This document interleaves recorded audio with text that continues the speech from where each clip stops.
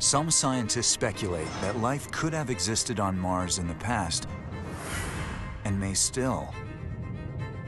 If true, Phoenix could unveil the first evidence of life on another planet. But all missions must begin this search by seeking one fundamental element. Following the water has been a NASA mantra for many years. Where there's water, there's a chance for life. With this understanding, the space program has sent an entire fleet to Mars, searching for water. Some of these missions have revealed promising clues.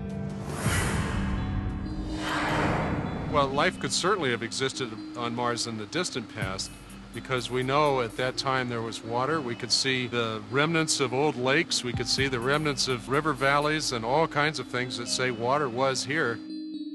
But billions of years ago, a mysterious cataclysm destroyed the planet's atmosphere and the water vanished. What happened to it remains a mystery scientists still puzzle over.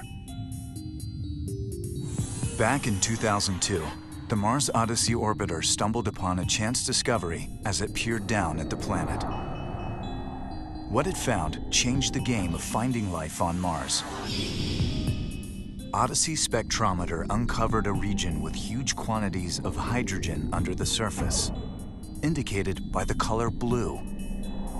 Scientists believe this hydrogen is attached to oxygen, H2O, water, most likely in the form of subsurface ice.